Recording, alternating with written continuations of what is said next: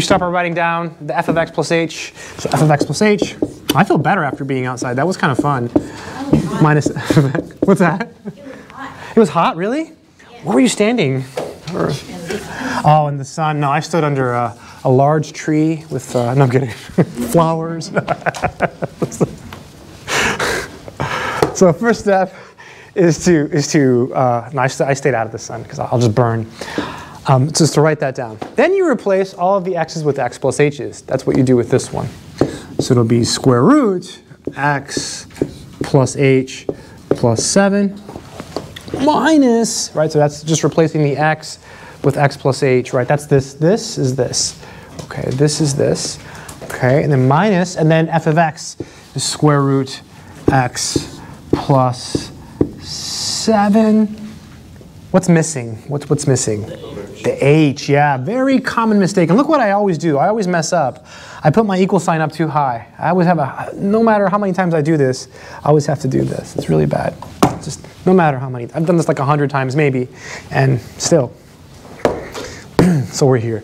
So, so we still can't plug in, hey, Nicholas, hey, all right. Um, does anyone know what to do next? What do we? Multiply by the conjugate, very good. Um, Aaron. Oh, you're Aaron. Okay, I was like, oh, because you, never mind. Okay, you emailed me. I'm like, oh, this guy, who's this guy? Like, who's Aaron? And I thought he was Aaron, but that's that doesn't matter. Okay, so multiply by the conjugate. so square root x plus h plus seven plus square root x plus seven over, and then the same thing, right? Because you're, you're basically multiplying by one in a really clever way. So square root x plus h plus 7 plus square root x plus 7. So we're here. So we're here. So very important technique. We did this earlier too when we were taking limits. Uh, I think it was 1.3. I think we did this. So this might come up multiple times on the exam. Uh, I think it's one of the test topics too. Uh, find limits by rationalizing. Uh, so, so that's that's this is like two test questions. It's awesome. It's so good. This is equal to. There is a formula, right?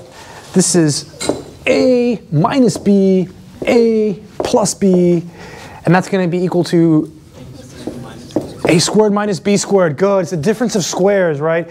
Super useful. So basically, you just square this piece so the square root goes away. So just x plus h plus 7.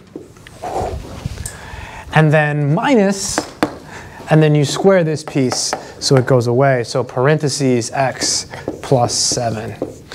I have a really bad habit of messing up here. I've messed up here before. So you have the h. I've forgotten this piece. It's happened to me when I take the test. Because I take the test with you, right? Because I have to, because I need the answers. Um, so x plus h. So one mistake I make when sometimes when I'm rushing through the test is I forget this part. So now I'm like kind of aware of it because I've made that mistake, you know. Mm-hmm. Yep, so we're here. I, I think at this point, um, we can distribute the negative one and stuff will go away, right? So, so uh, I think I can skip a step, right? So x's cancel, sevens cancel, so we just have h. And you can skip multiple steps. I'll, I won't skip too many. Uh, plus square root x plus 7, so we're, we're here, we're here. It's good stuff, it's good, good mathematics. And we didn't lose too much time with the fire drill. Okay, maybe we did, but it's okay. It's all right, it's all right, it's, it's life. Could have been a real fire, it could have been worse, so. What do we do next? What, what cancels? The H's, yeah, the H is gone, game over. So this is equal to, well no, not game over, that's good. So one over, we have this, square root x plus h plus 7 plus square root x plus 7. So we are here. We've arrived at this piece here. This is the slope of the secant line, right? That's all this is, right? It's called the difference quotient, right? It's not the derivative yet, right? It's not the derivative yet. Any questions on anything so far? Um, no, no questions. I mean, this is it, right? This is the last day um, before the first test. No, no pressure. It's, I know I'm hyping it up. Shouldn't do that. No. I shouldn't. I shouldn't. What do we do next? What do we do? Take the limit. Yeah, f prime of x. Yeah, take the limit, right? Let's be really pro. f prime of x. f prime of x is the limit of that. Right? The limit of, of the slope of this secant line. So limit as h approaches 0. And then we have this, so 1 over square root x plus h plus 7, and then plus square root x plus 7. It's just a formality. Just don't forget to write the f prime, the equals, the limit. Um, the most common mistake on this question is people mess up with the limits. Like they'll write the limit at the beginning and then they'll stop writing it. If you do that, I have to take off some points because it's wrong, right? Once you write the limit, you have to write it every time. So the way we're doing it is to not write the limit and then at the very end you write the limit, okay?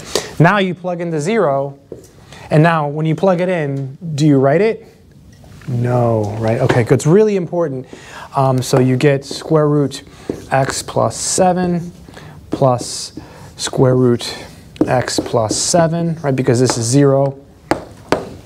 So you have one of these plus one of these. That gives you two of those. So it's just 1 over 2 square root x plus 7. And that would be the derivative, right? Because it's like blah plus blah is 2 blah right? That's how I think of it. I don't, I don't think of blah though. I just think of that thing. This thing plus this thing is two of that thing. Mm -hmm.